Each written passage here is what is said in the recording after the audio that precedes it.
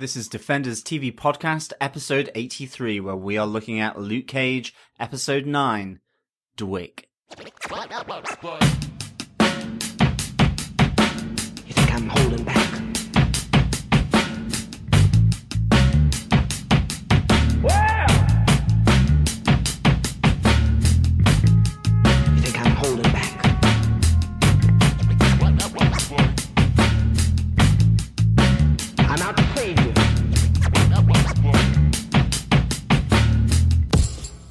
Welcome back, Defenders, to this episode of Luke Cage, episode 9, where we are looking at DWYCK or Dwick. Um, we're not entirely sure, but I think there's a lot of history behind these uh, five letters. Uh, this is Defenders TV Podcast, episode 83, and I am one of your hosts, John.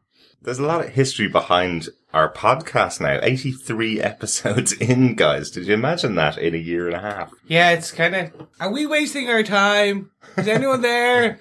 Are we just talking to space? Are you listening? Hello? No, of course. Thank you so much. Yes, we know there is. We know there is because they come over and join us on their Facebook group over on facebook.com slash groups slash defenders TV podcast. They join us over on Twitter at defenders cast and occasionally send in feedback to feedback at defenderstvpodcast.com. Did you like how I worked that in? Absolutely. Obviously, I am also one of your hosts and my name is Derek. And rounding out the group, I'm Chris. I randomly shout things from the back. we, we are the three Dwicks. Should we get into that now? One of my points every week is usually what the song means and what the connection of the Gang Starr song is to the title of the episode. This episode's called Dwick after the Gang Starr song. Uh, should we get into what it's called? I What's think we should because in opening up the podcast, I was like, do I just go D-W-Y-C-K or do I go Dwick? And of course, when I started to think about that, I went, Dwick sounds a rather like I love that we still have our swear jar in play. Yes, uh, I did look up trying to find out what is the meaning of Dwick. Uh, great little interview with Guru, who is one of the uh, lead singers, I guess, or writers for uh, for Gang Starr, uh, where he's interviewed and the question he's asked is, on the internet they say DWYCK means do what you can, kid, and his response is, that's a great meaning. I wish that was the actual meaning for it. it's just a term we used to express our uh, jokingly calling our male genitalia Dwick is what he says. So yes, it is. d- We'll leave that silence hanging there. Um, and, uh, yeah, well, there we go. But there is a connection to the episode, a really good one that uh, that Chris found. I'm going to give him credit for this one, but I'm going to take it. As, I'm going to take it as my own point, of course. Uh, so, so it is the moment where um, Simone Missick's Misty Knight is sitting sitting opposite uh, the interrogator, I guess, or the psychologist uh, in the interrogation room. He brings her in a drink, which is a can of lemonade, hands it over to her, and says, uh, "Lemonade's a popular drink," and she goes, "It still is." That line is directly taken from the song Dwick by Gang Starr. So that's the connection. That's fantastic. And there's also the other big connection in the fact that we don't see Luke Cage as Dwick uh, at the end of the episode. He's clearly naked and it's covered up. So that's obviously the other connection for the episode. You- Actually, That is true. It was there with a big metal plate over it. well, maybe it's that's melded to him now because of the acid. Maybe. But we get ahead of ourselves. Absolutely. In fact, we are absolutely upside down, back to front and topsy turvy because normally we would go into our five points, but we, we've kind of done one earlier, a bit off track. It's obviously coming into strange season because, uh, we're all going, bending reality and time around the podcast so that I'm sure we'll be starting with our last points first and our first point shall be last as the Bible once said. Or, or as Diamondback once said. Or as Diamondback once said, yeah, but if you are new to the podcast, we're not normally this crazy at the start. Or are we? Maybe we are. We go through our five points for good, for bad, or for indifferent of the, each episode of Luke Cage. And at the end, we say whether we defend or not this episode of Luke Cage. And of course, in addition to all the uh, places where you can come and join us to discuss, comment, and give feedback on each episode of Luke Cage or the series as a whole or on the podcast. You can also send feedback in directly to feedback at defenderstvpodcast.com or leave a 90 second voicemail. You know you want to. We and our listeners would like to listen to the dulcet tones of one of our listeners providing comments and some discussion. So go on. You know you want to. But I think without further ado, Derek, what are some of the production details for, for this episode? Well, this episode was directed by Tom Shankland, uh, another British director uh, for the show. He has done shows like The Leftovers. He did three episodes of House of Cards. And here's his Marvel connection. Uh, he worked on the show The Fades, which starred Ian De Caestecker from Ah, Marvel's Agents of S.H.I.E.L.D. Oh yes, terrible show. Great actor. Excellent show. Really enjoyed it. No, sorry, dude. this is where we'll diverge. It's a- Pre- A great show. I was pity it didn't get a second season because it did set up itself for a second season. Yeah. Uh, I, I actually talked to Ian, Ian Ian De Caestecker at, uh, when I met him at the, uh, Starfury convention at Fades, hoping that, uh, saying that I, the only reason I didn't enjoy the success of S.H.I.E.L.D. is that he can't come back and make season two and cover off the, uh, the cliffhanger that was left at the end of season one. And he's like, "Well, I'm, in, I'm I'm, a much more successful show. Like, I'm earning yeah. lots more money. I'm sorry." he was, he was quite polite about it, I must say. And the episode was written by Christian Taylor, who's written a TV show called Eye Candy, which I haven't seen, but he did write 15 episodes of Star Wars The Clone Wars. Uh, he wrote an episode of Lost and wrote three episodes of one of your favorite shows, John, Six Feet Under. Sweet. Sweet, sweet Christmas. Christmas. um, or sweet, sweet, sweet, six feet under. Definitely. Just to mix it up even further, that might explain why uh, the Luke Cage acid bath did look like something out of Star Wars, maybe. It did look like Darth Vader was going to stand up and go, no. Oh, no, or, um, you know, though it was the kind of carbonite, uh, the encasing of Han Solo in Mm-hmm. carbonite. It, it, just with the lights, the bubbles, the atmosphere. I got that too. Yeah, it that really had a sense of Star Warsiness about it Yeah. for me. Yeah, that, that must have been Christian Taylor's work on Clone Wars then. Yeah. I was just expecting the thumb to come out, and it'd be like, "I love you." I know. Terminator 2. Nice, nice. Another Terminator 2 reference this week. Yes, so many references. But John, do you want to tell us what they gave us in this episode with your synopsis? Sure. After his second bullet wound at the hands of Willis Stryker, Luke Cage's wounds begin to turn septic. As he reunites with Claire Temple, they become increasingly desperate to find a way of removing the Judas bullet shrapnel. And in so doing, they head back down south to Georgia and Dr. Noah Burstein as Luke begins to weaken. Elsewhere in Harlem, in the vacuum of Cornell Stokes' murder, an uneasy alliance forms between Mariah, Shades, and Diamondback. At a meeting of the local crime bosses, Diamondback kills all of them except Domingo Colon and only spares Mariah Dillard after she proves her worth. Misty Knight is hauled in front of a police psychologist who evaluates her breakdown on the job. As Knight is released and tasked to find Luke Cage, he arrives at Burstein's house where using Reva's data stick from Cage's chain, Burstein hopes to try and remove the bullet fragments. As he lowers Luke Cage into a boiling tank of acid, the pain becomes too much as the ECG flatlines. Beep. Wow. Another death of Luke Cage or hmm. another injury. He's gone from indestructible, unbreakable to an out and out wuss at this stage. I mean, he's like getting, he's getting shot here, shot there, um, melted m- here, melt- melted there. exactly. Um, like the, the idea of having a nice acid bath. I mean, it must be great for the complexion, but dreadful if it goes a bit too far. Definitely. I don't know whether he's a wuss because they made a great touch in this. And again, listeners, we're starting at the end of the episode because it's a third episode in a row where Luke is, uh, is dead effectively at the end of the episode. Uh, or injured, at least. Yeah. In this, But case, particular it's kind of it's dead. lines, yeah. right? But they made a great little touch there where, uh, where, uh, Claire tells him beforehand, if the pain gets too much for you, make a fist and I'll stop the procedure immediately. And just after he flatlines, the last thing he does with his hand is make a fist. So only death is too painful for Luke Cage, effectively. So, uh, I like that touch. Yeah, cool, cool little touch, cool little touch. But with that, Derek, what is your first point? My first point is the relationship between Will Stryker and Shades. This was pretty unexpected because we haven't really seen the two of them together in the entire season so far. We've only seen Shades uh, dealing with with Cottonmouth a couple of times um, and talking about Diamondback. So we've never really seen the two of them interact together.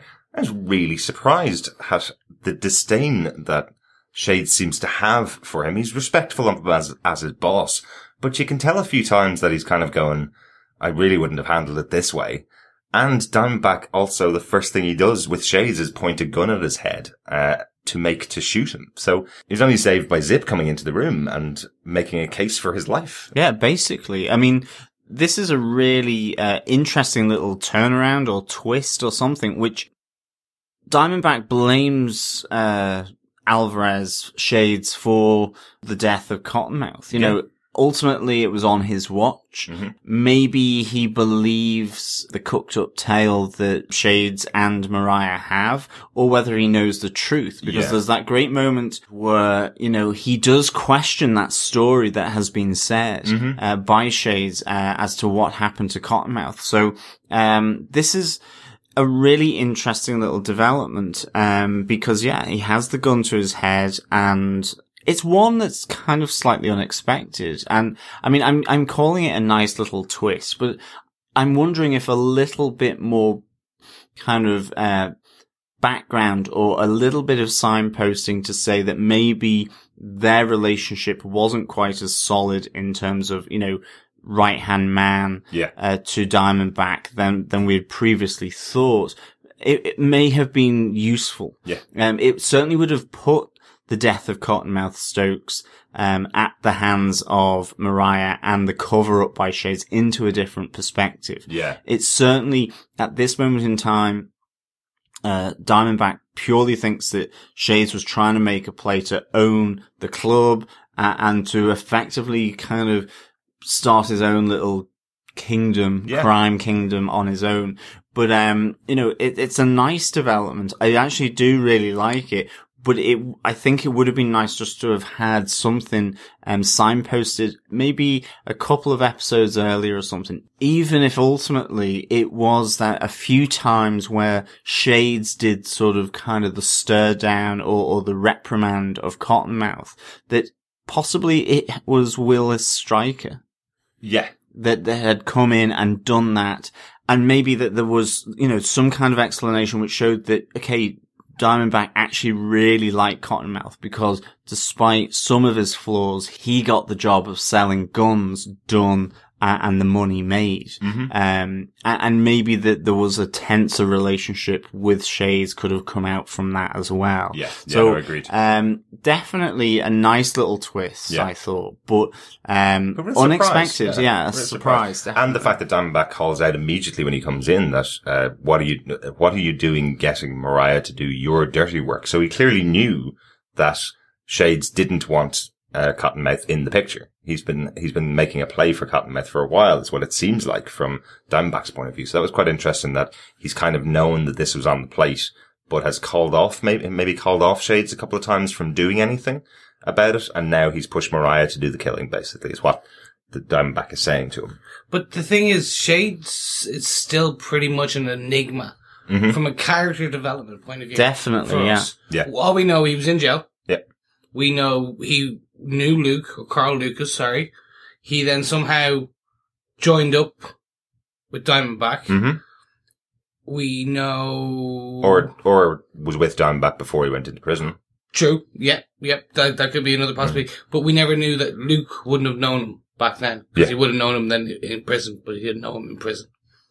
Yeah. So we, we don't know how that works, but okay, Yeah. yes, I I I I bow to your wisdom on that one. It No, may, no, 'cause it it, could- may be. No, because Stryker did say that everything that happened to Luke in prison was at his hand and by his will. So, um, so Okay, that's, that's why I thought that Shades already worked for him when Carl Lucas met him.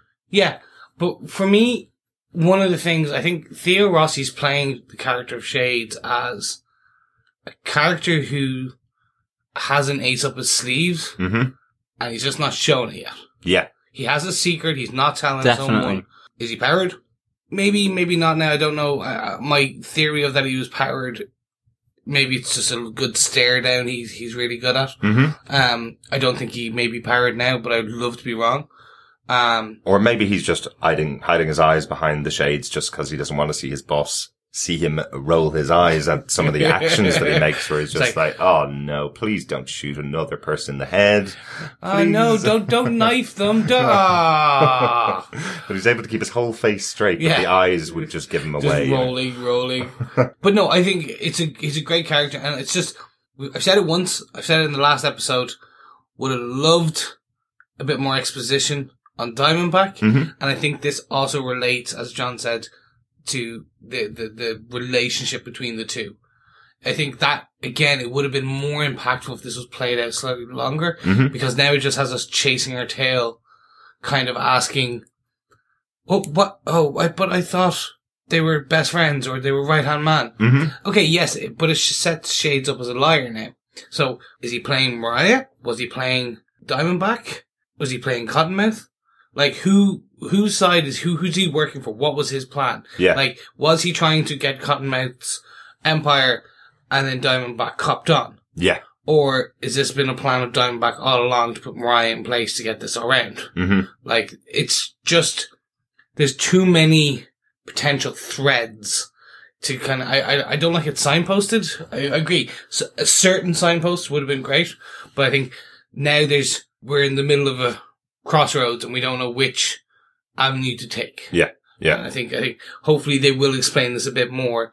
Again, like just who is Shades? Yeah. Why is he there? That kind of thing. That will give us a bit of background. It almost feels like we need another flashback, actually. Yes. Um, I don't know whether we're going to get that, but it does feel like um, one of the episodes from here on into to the end of the series does actually need to be a flashback hmm to to bring some of these together, Uh, or um, it, it certainly needs to be explained o- o- over the course of the next few episodes. Yeah. Definitely. I'd like to see a flashback to Willa Stryker and Carl Lucas when they were younger. See the two of them working together, so we get a little bit of background. I think it's going to happen. I think that's exactly what's going to happen. Maybe in the next episode or the episode after. And we did see both names in the credits for one of the episodes that those characters weren't in. So, so I'm presuming we will see a young Carl Lucas and a young uh, Willa Stryker in a future episode. Possibly the next episode called "Take It Personal." It's very likely that Willa Stryker has taken something personal. So that's that title alone is telling me there's a possibility that's where the flashbacks come. Absolutely. Um, but I, that was certainly one of uh, my points as well. Was that um, about Shades and, and Diamondback's relationship being more fraught? Definitely. But Chris, what's your first point? So I'm going to redact part of my statement on Diamondback in the last episode. Okay. Now, I'm not fully redacting it. Okay. I'm not fully saying no, I, I wholeheartedly support this villain. No, but I can redact it. I can edit it out of the podcast so nobody will ever have heard it. No, it's okay. No, I won't. no, because we like, we like to show my foibles. This was a good introduction to Diamondback, mm-hmm. this episode. Yes. This is where we saw, rather than the Cesar Romero, Jack Nicholson, uh, type of Joker villain, crazy, unhinged that we saw in the last, uh, episode. hmm This is the Heath Ledger villain. Right. This is the, he's sadistic, he's slightly crazy, Mhm. he's violent. Yes. That I can understand. That is a character who fits in with the Marvel Cinematic Universe. Mhm. And he even does a trick. It's not a card trick, but he even does a trick with, uh, with the gun at the start with, uh, one of Zip's guys, uh, where he takes his fingers out of his jacket, points the fingers at him and shoots him with a gun in his other hand. Which I thought was cool. I saw the gun when he was walking into the room, unfortunately, so it was kind of given away. No, I but, uh, but I did like the, uh, the idea of it, where he's, yeah, you think he shot someone with his fingers. That's quite fun. Yeah.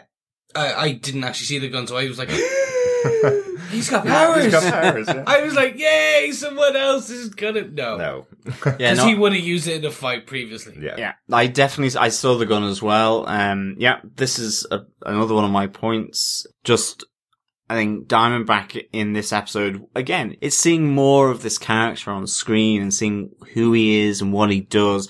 And I mean, that, that moment in the club, in the office, was just superb. You know, the whole idea of the 48 laws of power. Um, he's kind of, the, the, there's that callback to when Cottonmouth w- was, was, um, underneath the, the, the picture of B.I.G. Mhm. It, it's slightly different. It's a slightly different perspective. but the, the same thing happens, um, where you get the crown going, uh, on top of his head, Yeah. uh, which was really, really good. You know, he, he certainly pulls no punches. He's sort of, you know, this, this is where he threatens, um, Shades with the gun after basically saying the 49th law of power is he's not dead, I Luke Cage, until I have his body, Yeah. basically. Like, really, really good. That's kind of a law for Marvel. I've heard actually a lot of people talk about Marvel comic books like that, where if you don't see the body, they're not dead. And, and Marvel movies, because people come back to life all the time in comic books. Yep. And it's always one of those, unless there's a funeral, they're, they're not coming back. And even if And they, even then- funeral. even then, there's only two characters in the Marvel universe, I think, that have never come back. Uncle Ben and, uh, Goliath. The other two. And Goliath. Oh, Goliath's never come back as well. Yeah. That's right.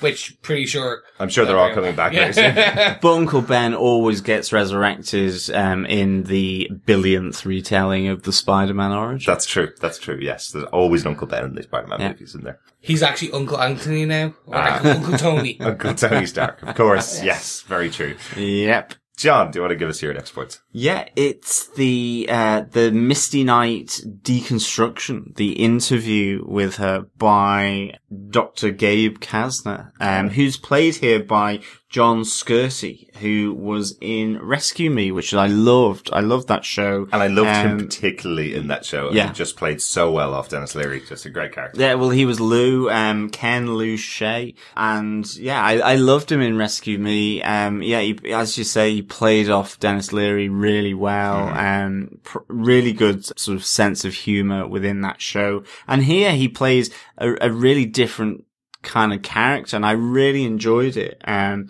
I, I loved the fact that, you know, uh, he comes out with "You're already broken" to to Misty Knight. She thinks she can battle this off a- Yeah. a- a- and sort of hard nose him and really put up the the shutters and and really you know fight it. But he he he. He challenges her to say, like, you're already broken. The question is, how broken are you? And can you be fixed? Yeah. You know, he uses different things against her. Like he uses the basketball analogy of, you know, why bench yourself at, mm-hmm. at this stage. He talks about things and hands her the, the, the photograph to ask her and talks about losing control. You know, he knows that she wants to be in control and it, it, it breaks her ultimately. You know, he talks about career suicide. I loved this. I thought it was a really excellent little piece within this episode, which was just interspersed, showing the vulnerability of, of Misty Knight, who doesn't want to show any of that at the hands of this psychologist. Yeah. And I just thought this was a really good deconstruction of, of, of this character in this interview. Ultimately, Priscilla, you know, she is, because she owns up that she lost control, she is given her badge back, she Mhm. is given her gun and told to effectively go and track down and bring back uh, Luke Cage. Even though she's still fighting it, and I love that about Misty Knight, she's still saying, but what about Mariah? Yeah. You know, she's still out there. Um, she's still... What about the guy who pointed a gun at my head? Yeah, exactly. She's still fighting. She's still being Misty Knight. She's still not wanting to leave any threat, uh, loose. Mm-hmm. Ultimately, um, but I, I just thought this this whole um, interview sequence was really good. Yeah, yeah, definitely. And I, I like that it all ended with Misty back with her wall, takes down all the pictures from the wall except for Cornell Stokes, the guy with the gun who she doesn't know, as well as Stryker, Mariah, and Luke Cage. They're her four people that she is going to be following up on, regardless of if she's told exactly. it's going to be Luke Cage, that, that she has to go after him. She knows these four people are connected in some way. Yeah, but again, they're kind of after literally just being given her badge back and mm-hmm. told, go do this one thing. Yeah. She does the exact opposite. Well, yeah, She's like, I'm going to do this one thing, plus these three others at the same time. Don't worry, it won't matter. Yeah. I agree with you. I love the scene as well. Um, the confession, the, the very end, I was saying to you guys when we were, wa- after we just finished watching it, it was a bit jarring, the hard cuts and the editing Right. just because I wasn't sure. I was expecting that this was all in her head, that Mm-hmm. what she was saying, and then she was just going to say nothing or Yeah. say something very aloof. But it was just no. She was actually saying them. It was just the hard cuts made it look like different parts of her personality, Right. etc. I, I get it that now. it could be a dream or something. yeah, Yeah. But it was just Yeah. more. It, it it felt to me, yeah, it was the dream. Then she was going to say something else. Yeah. Yeah, I know what you mean. I know what you mean. But again, a great moment for Simone Missick again. She's had it almost every episode because I just love this Yeah, actress. I love this character. But a great moment when she's saying, this man put a gun to my head, about to take away everything that's important to me and laughed his whole way through it. That's why she's so angry. That's why she's so pissed. That's why she lost control. Um, excellent. Really well played. Really, really good scene. So, Derek, what's your next point? My next point is just that we finally get a bit more detail about Reva, about the thumb drive, all from Dr. Burstein, um, when they get to his house.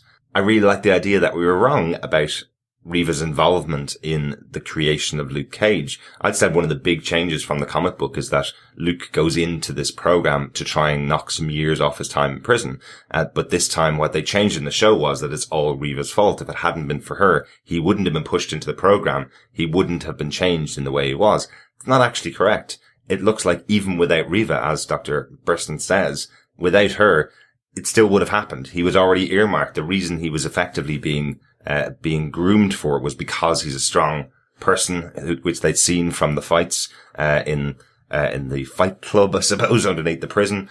Um, they had already earmarked him for that. I thought that was really interesting that he that he would never have gotten out of this uh, situation. You know, um, that Reva didn't push him into it, so she's not at fault here. She's, it's not her fault uh, that he is Luke Cage. Um, she did save his life, and it came a little bit earlier than expected. Uh, he may have just died if it wasn't for the security guard twisting the knobs up too high. He may have just died. But, uh, but I like that we get a little bit of that extra story. And obviously then the thumb drive, which we talked about in the episode. If we didn't get an answer to that, I think you guys were saying, if you didn't get an answer to the thumb drive, uh, and it being more important, than it would have ruined the, that episode for you. At least now we do know that this is, contains all the information that Burstein, uh, had lost in, in Seagate. He now can replicate some of the things he was doing, uh, and it obviously contains all the rest of the stuff. And I like his reaction when he gets the thumb drive is, she died for this, didn't she? Because he knows the importance of what's on there. So we'll learn more, I'm sure, uh, now that he has the thumb drive available to him. Um, but I like that this thread is continuing uh, from from Jessica Jones and from the show. It was. It, was um, from the flashback. I mean, that was one of the things I hoped that it would get further explained, and and we have that here. I really um, I enjoyed this uh, seeing the um, the use of, of, of this drive and, and Luke Cage actually being hugely protective over it. Um, like, there was part of me that wasn't entirely sure whether, you know, when, when him and Claire Temple were talking about, do you trust Burns, Burstein? Um, and they both kind of go no. Uh, and Luke, you know, comes straight out and says, we'll kill him if you think you need to in order to protect Reva's hard drive. Um, I kind of was like, oh, okay. I didn't expect it to be that absolute and sort of trial without jury type of thing. Right, right. I mean, I'm not too sure whether they're wrong about Burstein and, and whether he can be trusted. Hmm. Uh, certainly now that after losing all his research, he suddenly got it back again. You know, you, you wouldn't know how that might, um, affect him, but I, I, I was thinking, you know, it seemed in episode four that him and Reva actually were a good team. Yeah, And, and so I would have thought Luke Cage would have maybe recognized that and, and not necessarily say kill him, Yeah. you know, kill them all kind of, he got a bit kind of, but then he was about to get loaded into an acid bath. Well, Yeah. true, true. Um, I was trying to think or back on was it deep fried or was it rotisserie? I can't remember. like deep fried like a turkey. Apparently, that's Yeah. a thing. Uh, we don't deep fry turkeys in Ireland. Nope. Um, I have heard about it in America, but I've never uh, never experienced it. I must say. Um, but no, I was trying to think back on the episode and trying to see where the point was. What was it that Burstein said to Luke that could have made him suspicious of him? And what he said is that uh, we developed a lot of weapons for the army. We developed. Um, we developed bulletproof equipment using the same technique that we used on you. So I think just the infer- inference there from Luke is that uh, if he gets this technology in his hands again, he will develop an army of Luke Cages, which will be unstoppable. Uh, Luke says, I don't want one of me on every corner of every street. So, Yeah. so I think that's the inference. I think it's just, it's kind of, it's almost a dropped line in, in amongst some of the explanation and other exposition that's going on during that scene. But I think that's the line that, that Luke is, uh, that Reacting turns. Luke- that turn, makes Luke react, or at least makes, uh, makes Claire react to him. So I think that's the one. Yeah, and uh, what I found interesting was uh, the the complete change. This has nothing to do with the Captain America formula anymore. Mm-hmm. So that's a, it's a unique change. I assumed they were going to go down that. The Super Soldier Initiative has nothing to do here. Yeah. This is about building bulletproof humans Mhm. to a degree. And it was, they were weapons manufacturers and now they're to a degree doing the same thing, but with humans. Yeah. Yeah, pretty Um, much. Yeah. And it, uh, the one thing I'll put my hand down and say, they explained the powers better now. Yes. I will say that now because we're on this topic. They explained it to my satisfaction Mhm. now, and I think that's better. I think, again, this is the detriment of us not binge watching a binge themed show. Yes. Yes. Sorry. Absolutely, Sorry yeah. again, guys. Sorry. It's okay. It's okay. But I just wanted, I almost wanted, there. Yeah, I wait. wanted to redact my, this is, they, how could they do this? Yes. And I was like, okay, well, thank you. We're normally so good at predicting Yeah. stuff. we are awful at predicting stuff. Absolutely awful at predicting it. But we don't, it doesn't stop us, which No. is, which is good. Uh, no, I, I, I agree with you, Chris. I think when you're looking back on episode, uh, episode eight, where Claire is trying to explain what's happening to Luke, again, you understand she's not actually there. She doesn't know where everything came from. She's trying to pick it up from the little bits and pieces she's, um, investigating, I suppose.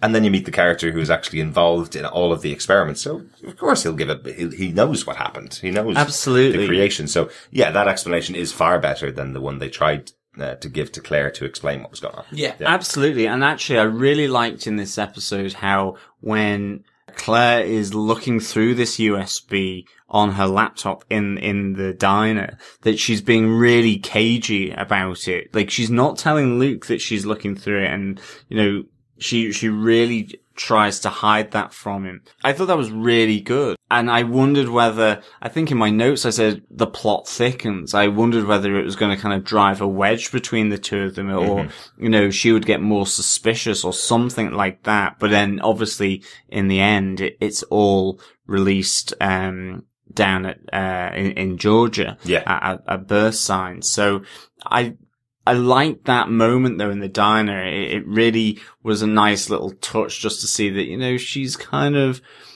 yes, she likes Luke. Yes, she's going to help him, but she's also just trying to find a few things and obviously find out that, that the abalone sea creature, um, has been used in, in the experiment. Interesting, interesting. I wonder if Namor would be happy about that. Oh. Tie-in. you never know. You never know. The Namor Netflix series coming in 2022 or something. Uh, 2028, I think. maybe. Uh, Chris, do you want to give us your next points? Yeah, I'm gonna call out something that probably our listeners are screaming. Um, so we brought up a topic in kind of episode one, episode 2 Mhm. of this when we were reviewing it, talking about how, okay, Luke Cage is a great superhero show, but Cheo Coker, he, he's kind of settled this in a real world today type situation and he, his belief that a bulletproof black man Mhm. is what the world needs right now to showcase some of our current socio-economic issues that are going on. Yeah. I'm skirting the issue and I'm just going to dive into it. Uh-huh. Um, the scene when Luke is walking down the road, a hooded black man is walking down the road, not annoying anyone, Yeah. in what seems to be an affluent area. Yeah.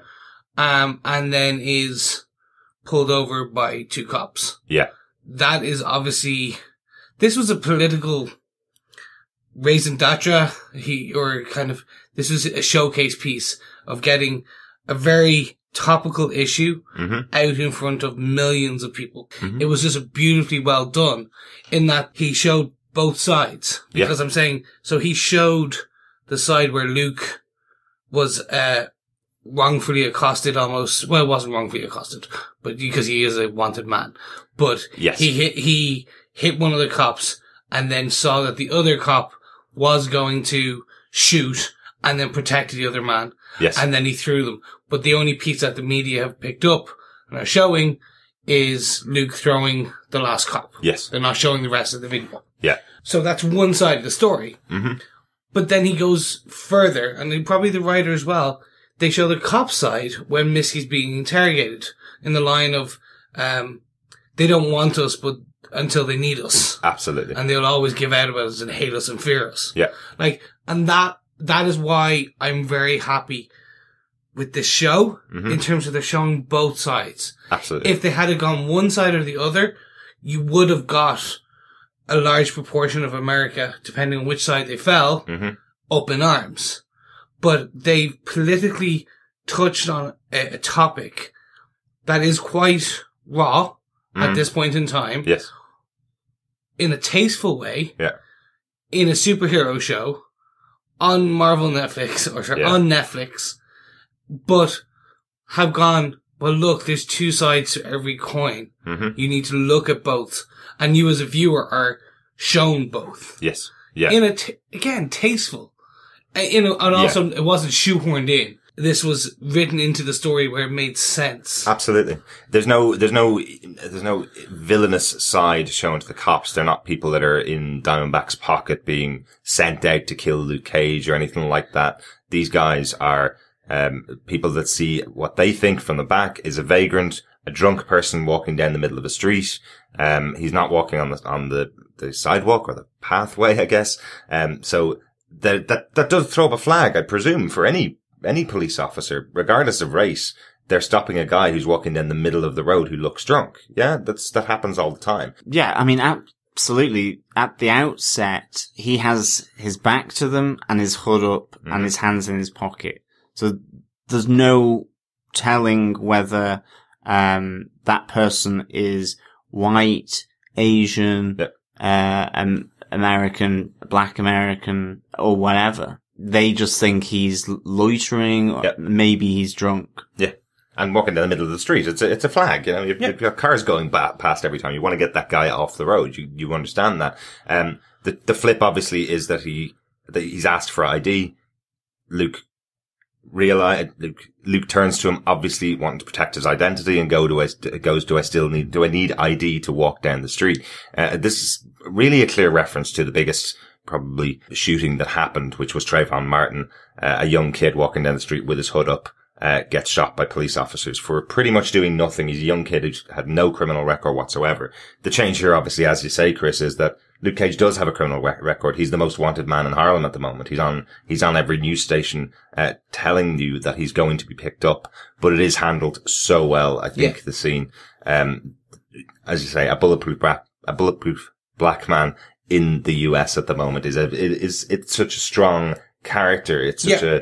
a, it's such a good commentary on what's going on, but they don't skimp on, uh, as you say, the, the, uh, the other side of the argument that there are police out there. They are trying to save. They are trying to protect. They are built from different things than I am because I wouldn't, uh, go down in the street and, and have people shooting at me, uh, you know, just to help people I don't know. It's, it's something that I, that I'm not built to do. That's not my job.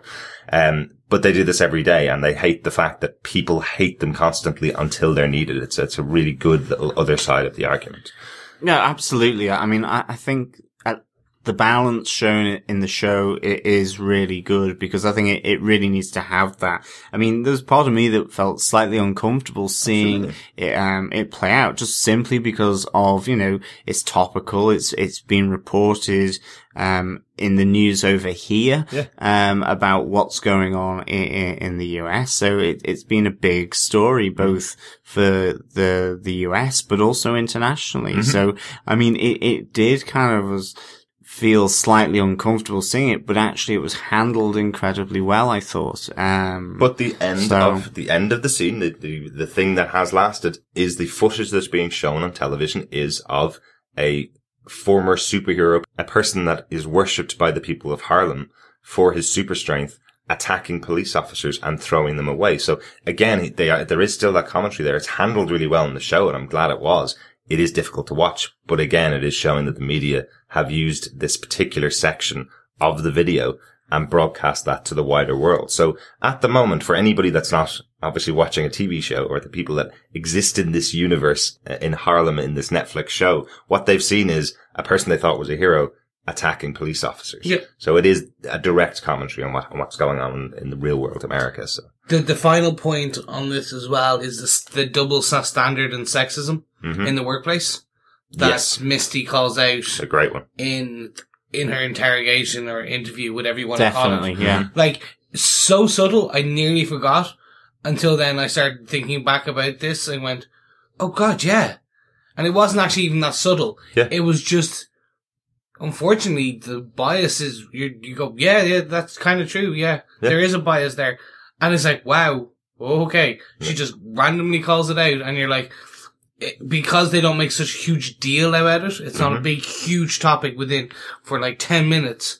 It's very short. Yeah. To, it's, a, it's an off the cuff remark she says back to him. It's kind of swept slightly, but it's still there. Yeah. This actually makes sense of putting it in there as a strong woman in a position of power. Yeah.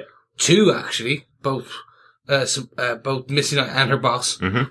Uh, and they do call out the double standards Yeah. of a woman sleeping with someone versus a man sleeping with someone. Absolutely, absolutely. Yeah, no, re- really good point and another another well handled scene. John, do you want to give us your final point?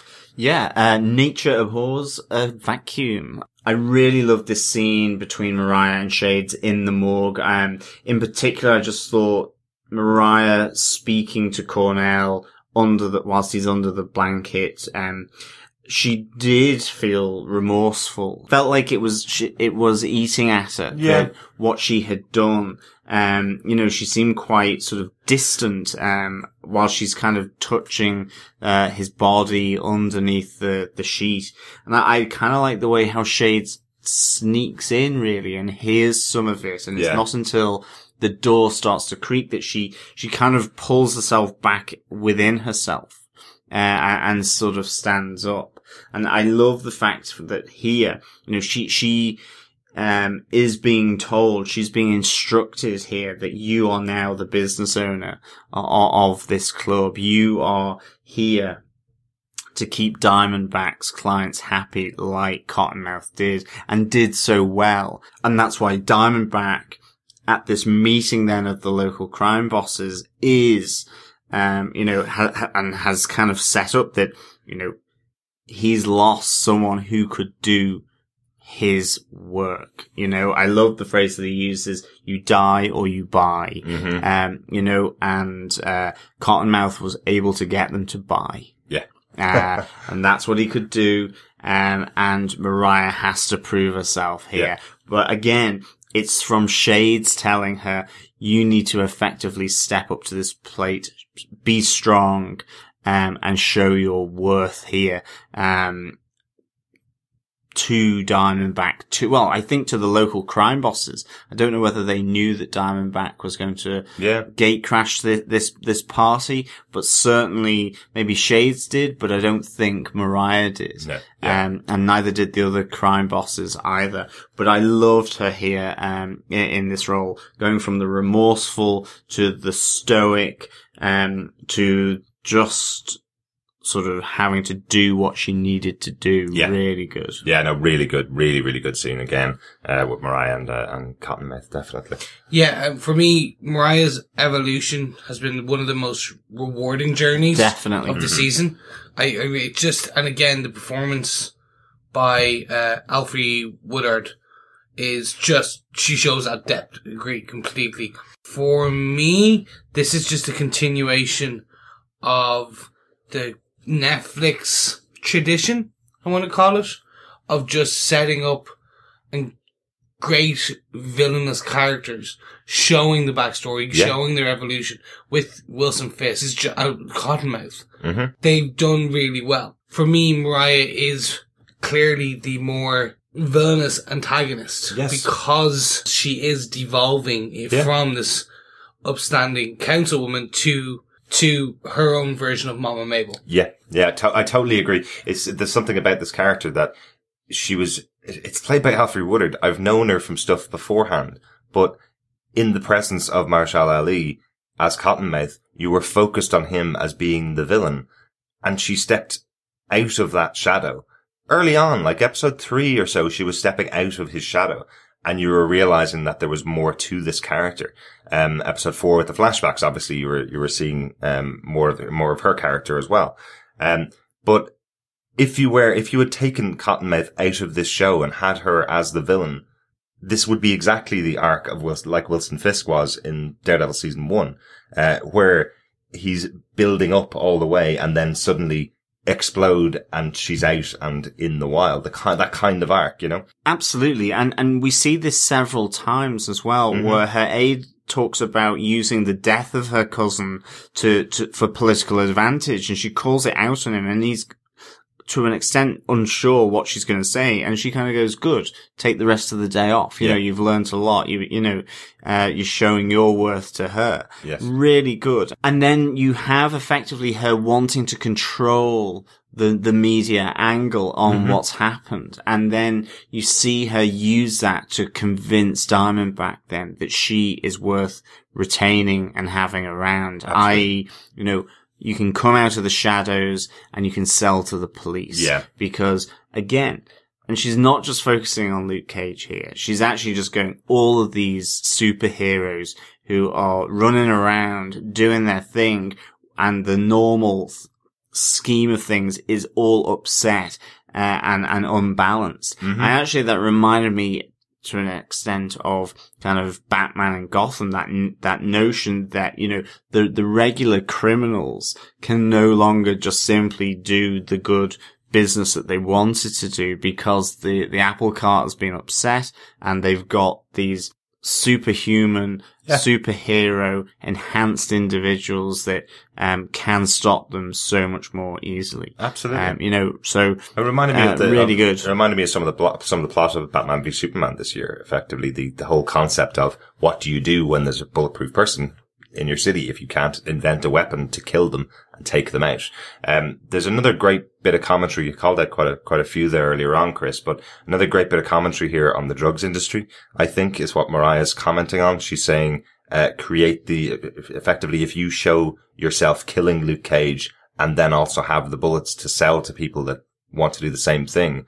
Um, it's like the drug industry creating the virus and then providing the cure.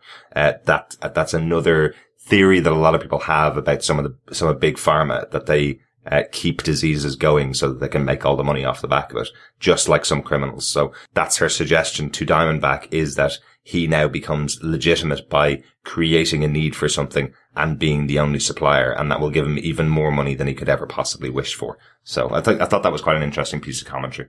But Chris, do you want to give us your final point?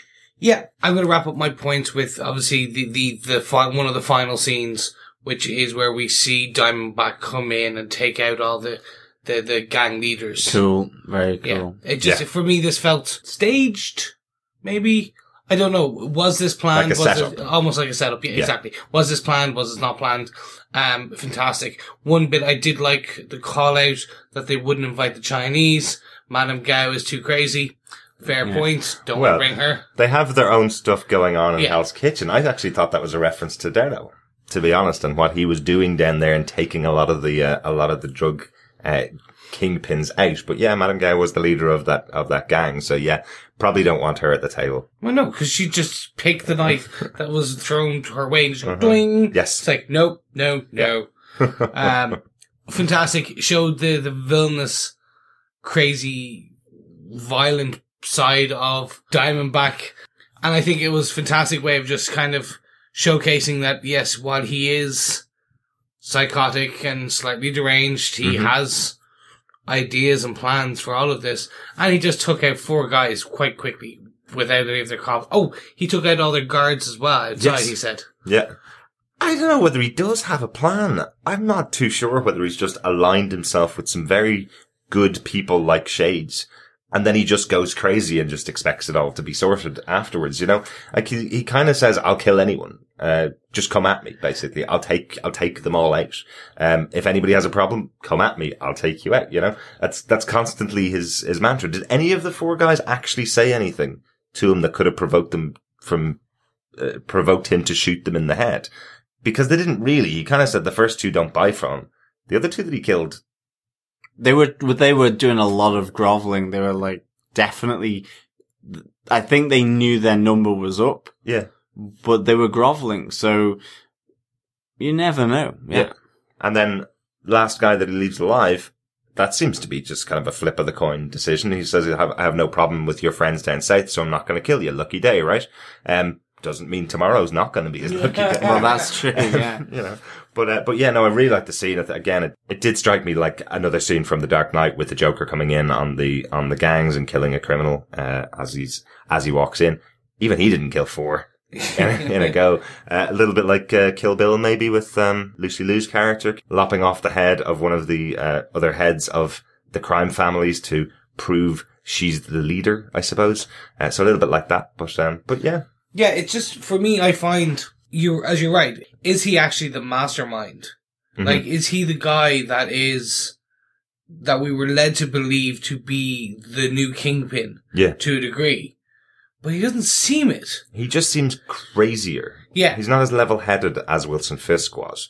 Definitely. You feel like he's kind of murdered his way to the top rather than uh, done great business dealings to get there. So he he- he's the what was it, the two book the two books he read the Bible and the forty nine ways to power. 48 ways. Yeah. He found the 49th He did. himself. He did.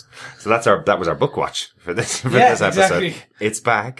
The Bible, that's it. And along with the 48 laws of power. Yes, very cool, very cool. My final point, it's got to be the actual Luke Cage in a bath of acid, and Oh, it doesn't, and it doesn't work. Like this was their last and only plan as he flatlines. What what could possibly be next here? Um, is there any? Is there even any time to set up another experiment to save Luke Cage? I'm the one that keeps speculating that Luke Cage is going to die before the end of the season, even though I know he can't. And we've got Defenders coming up, which we know he's confirmed to be in. So, what what else can they do here? They've But maybe it's that moment where he does die from the injuries, but then slowly comes back to life because the regeneration happens. that's very likely. Yeah, yeah. Not zombie Luke Cage, but Marvel Zombie starts here. but it, it, Oh it, God, it it's that amazing. notion that yes, he looks dead, but then over the course of a day or two days, it, it his body begins to recover, and then you get the the beat of the heart starting, and actually maybe at that stage the septic wounds have healed because you know he does have regenerative properties Uh-huh. and healing powers. So once he's died, does that kind of continue a bit like your nose and ears Yes. keep on growing? Or is it going to be like they put him in the coffin and then literally a couple of hours later the dirt seems to rise off his coffin? yes, Superman. Um, Oh, okay. Sorry. Yeah. That's been done. They can't. They can't use that. Can't use that But twice. No, I, I think I'm. I'm not sure if it's even going to be days. I think it will be minutes uh, for his recovery after that. After that, because otherwise, won't his brain die? So I presume he won't be dead for more than a Well, couple of- maybe, yeah. couple of minutes, and then heart restarted. And off he goes again, hopefully. But yeah, I, I, I did shudder at, at the scene, the idea of him going to an acid bath. What Dr. Burstein says to him beforehand, you know, how badly can this go, says Luke to him. And he goes, well, the pain of it could be so bad as your skin boils off your body that you might want to put a bullet in your brain. And because you're bulletproof, well, the bullet will probably just bounce off anyway, so you won't be able to do anything about it. it that's, that's not good bedside manner from Dr. Burstein at all. He just shoved a big needle to the back of his throat. Oh yeah. that that was that was fabulous. The puncture of the mucus Oh. membrane. Um, No. yeah. That looks so difficult. You see, I thought there was a bit more work that was required there because he, he was trying to get the DNA to see what he needed to do in order to replicate certain conditions, but see how he could almost like back engineer the process. Yeah. Um, whereas the acid bath thing just seemed to be like the first step where it was like, well, let's see if we can soften it up with this acid. Well, exactly. We need to tenderize the cage. yeah, exactly. Next, you'll get a big steak tenderizer. doink, doink, doink. Yeah, it'll be interesting to see what happens now. But I think with that, are there any notes for for this episode, Derek? My first note is seeing the Delfonics on stage in the club. We got another live band in Mhm. there. Love the Delfonics. Uh, didn't I blow your mind this time? One of my favorite songs. Really, really love that tune. Love seeing them live. The guys are, guys have been going for a long time and it's Yeah. just great to see them live in the club. Uh, pretty cool, pretty cool moment. When they also on the track of Jackie Brown as well. Yes, they're on the soundtrack with Jackie Brown. Another, uh, great, great tune on there as well. So, uh, Yeah, yeah, great, great band. Go check them out. Yeah, absolutely. Chris, any notes? No, I've actually strangely used all my notes in this episode. Um, there were some nice callbacks, um, as I said about the super soldier being changed, but um, nothing directly at this point. Got a couple little other ones, uh, really, which is just, uh, I think for the Misty Knight Netflix show, which will hopefully come. I think her tagline has already been created in this show, which is, I don't seek justice, I stalk it. Oh, perfect. That's You've so- just taken one of my notes. Oh, actually. really? Yeah. Really? yeah. Uh, well, the final one is just about, again, about Misty. Her description of her night with Luke Cage, uh, and their coffee drinking was fantastic. Yeah. I enjoyed that scene as well. Uh, John, do you want to give us your notes? No, you've stolen them all from me. I did not mean to steal all your notes. I'm sorry about that. But Derek, do you defend this episode of Luke Cage? This is an interesting one. This is this is the longest episode I think of Luke Cage, and I think they were trying to accomplish a lot. There's a there's sets of scenes which I think are fantastic. There's, but there's a lot going on in the episode. I'm not sure overall whether um I defend this episode specifically, but this is a bingeable show. This is a show where you would watch three or four episodes. If you weren't podcasting like us, you'd watch three or four episodes back to back. So it probably wouldn't feel like a, an overly long episode because you've probably watched two or three hours of the show. So, um, so I'm going to defend it. I'm going to say I do defend this episode because there was nothing actually wrong with the episode other than maybe a little bit too much in there, um, for this particular one. But Chris, do you defend this episode of Luke Cage? I do, strangely. Um, the last episode I was very 50-50. With this episode, I'm more 70, 30, 60, 40.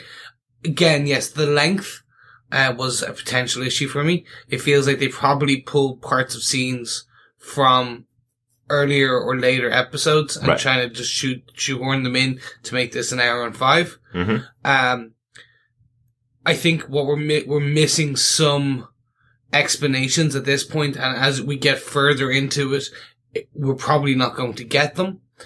But then, with Mariah's evolution, with uh, Shade's secret, whatever that will be, hopefully, um, with the correct introduction of Diamondback Mm-hmm.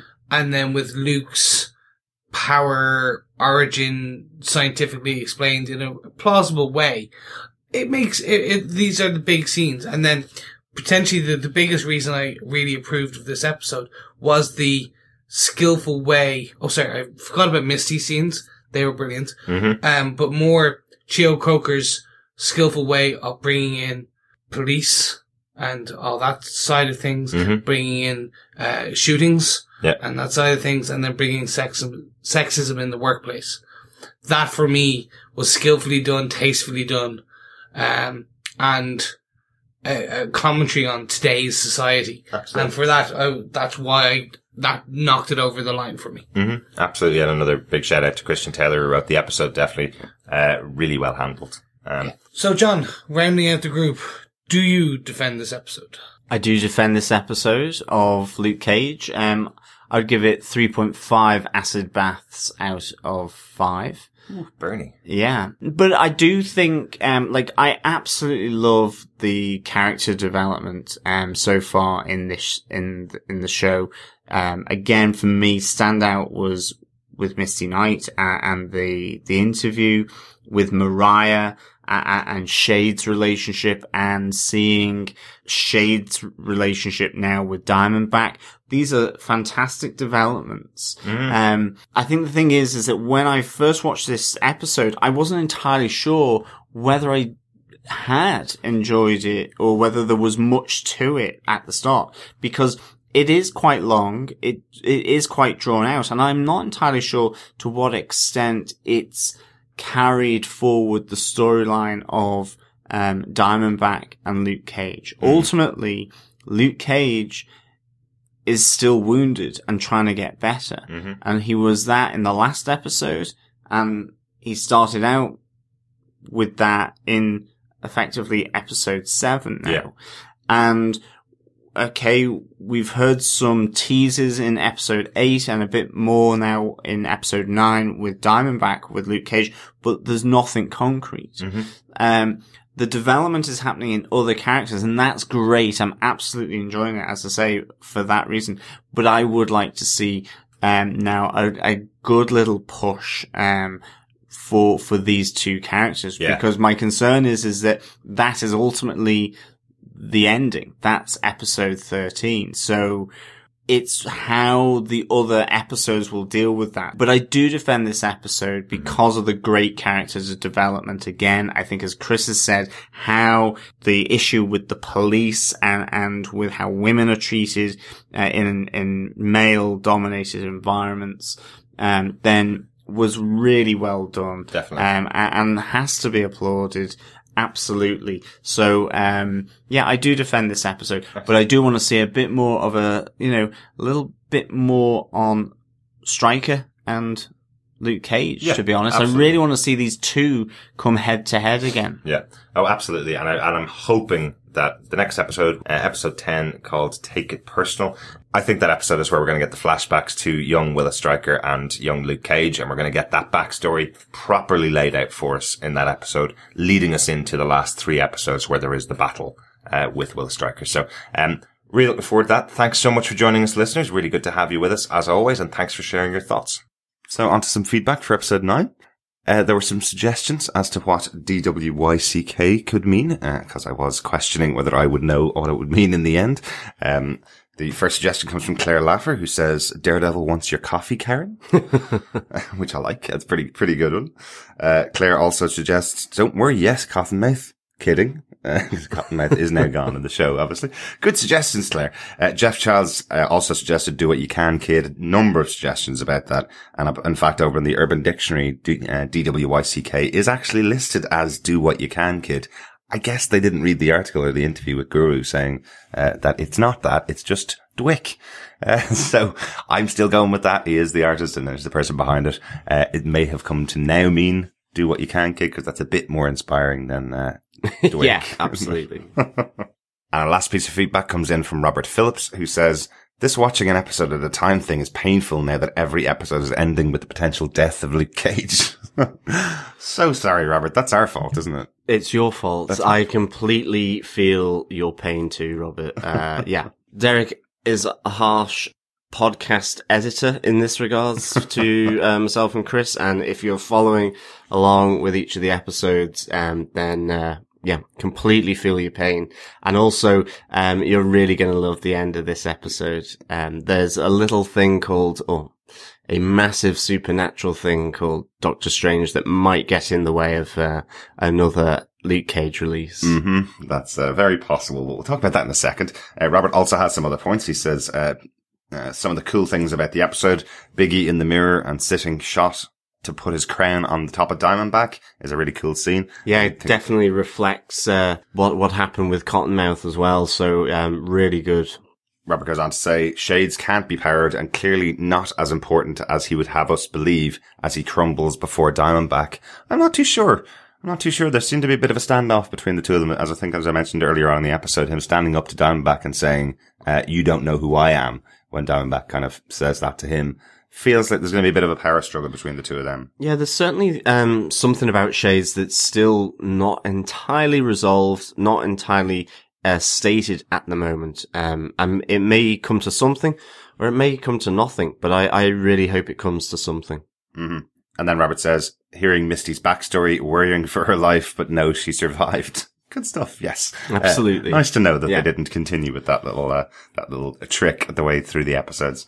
Um, question from Robert, wondering, is Priscilla the IA head corrupt? She keeps pushing badge and gun for one reason only. So interesting. Um, I didn't think about that. I do feel that she has, uh, some connections and she is very high up in, in the department. She might be more of a pragmatist, more of a realist. Um, as you know, you move up the chain, maybe things you have to balance the political, in this case, the local councillor elements coming from Mariah versus operational and so on. And I, I do think she's always kind of saying, well, this is where the evidence leads in the way that I interpret it. Mhm. Why aren't you going after Luke Cage? He's the one connected to all of these different, um, crimes, activities, deaths, whatever, not Mariah Dillard. Um, but of course, it's, it's the gut instinct of, of uh, Misty Knight that's really, uh, driving this. Uh, in, in the same way that we, we kind of brought that out on our interview with Justin Swain about him being the forensic and, and the brains and whilst Misty Knight has got the brains as well, she's got that visual gut um, and sensory element to the way she does investigations. So I just think Priscilla at this moment in time, there's a little bit of dubiousness about it, absolutely, but I, I think it's more she's trying to just trade off certain things um, from a from a political point of view in Harlem. Yeah, yeah, good points. And the final question from Robert is just asking, is the peer support guy a mirror of Reva? Uh, she's been something before a psychologist and was helping prisoners. Had she been a perp before training up, maybe? Uh, like that guy's an ex-cop. So, um, so this is the peer support guy who's helping out Misty Knight in, uh, in trying to get to the, to the reasons to, uh, why she attacked Claire. Yeah, that's a really interesting idea that possibly, uh, the peer support guy is her version of Reva, the guy, the person that might help her out of, uh, of the situation that she's in, she's in at the moment. Yeah, I mean, I really liked um, how that all sort of flowed, really, and I love the fact that he was on top all the time with regards to that that sort of mind battle. You know, Misty Knight is hugely mentally strong, and yet here is a guy coming in questioning her um, her decision making Yeah. um, and that, that kind of foundation. And so I don't know whether it was so much a support, but maybe she did draw strength ultimately in the end from realizing that she doesn't have to be this, um, top dog all the time. Yeah. She, she can, you know, assert herself and then sort of fade into the background and let others take up the reins. And maybe this was one of the things she was trying to be all things policewoman and detective to, um, all people. Yeah, I totally agree. And as for Misty being a perp before she became a cop, I don't really see it. I see that Misty seems to be someone that has worked through her life to get to where she's gotten to. She feels like a really strong character who probably didn't uh, start off being a criminal and then working her way into the police force. It doesn't feel like that's Misty's journey. Yeah, it, it doesn't feel like that to me either, just at, at, at the moment. Um, but, uh, no, that's interesting points that, um, you raise and some really good kind of perspectives on, on that whole relationship between Misty and the kind of psychologist. Yeah. Absolutely. Well, we are dropping in these, uh, these pieces of feedback just before we release episode nine of Luke Cage. Thanks so much for the feedback. If you want to send in your feedback for episode 10 of the podcast, our review of Take It Personal, episode 10 of Luke Cage, uh, you've got a little bit more time. That's a positive way of spinning it, isn't it, John? Yeah, absolutely. yes, we will be releasing our review of Doctor Strange, the 2016 movie by Scott Derrickson, uh, to finish off our Fall of Strange, I guess, or Summer of Strange. Yeah, yeah. Or Autumn of Strange. Strange. Yeah. possibly.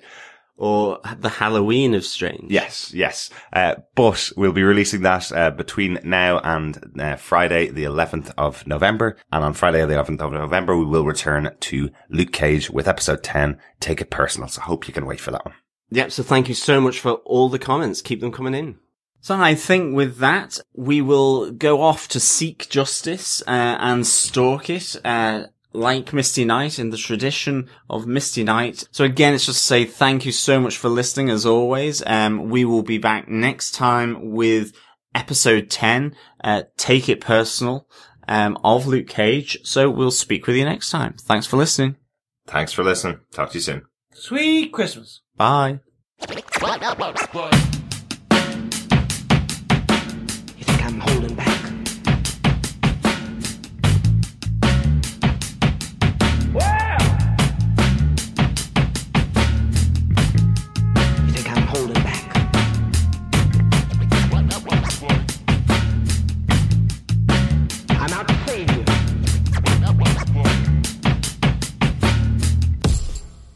Thanks for listening to Defenders TV Podcast, a TV podcast industries production. Our theme tune's provided by the wonderful Mississippi McDonald and the Cottonmouth Kings. If you want to help out the podcast and you've enjoyed listening to us, there's some really easy ways to do it. If you can share our episodes through your social media channels like Twitter, Reddit, Facebook, or Google+, that gets some extra listeners into us. If you want to leave us a review on iTunes or a rating, just leave a five star rating, click the button, or go to iTunes through defenderstvpodcast.com slash iTunes. We'll take you straight to our page and leave us a review or a rating there. That always helps out independent podcasts. And also, as always, we love to hear your feedback about the show's interaction with our audience is what we really, really love. So you can send us feedback to feedback at defenderstvpodcast.com. Thanks so much for listening and we'll talk to you next time.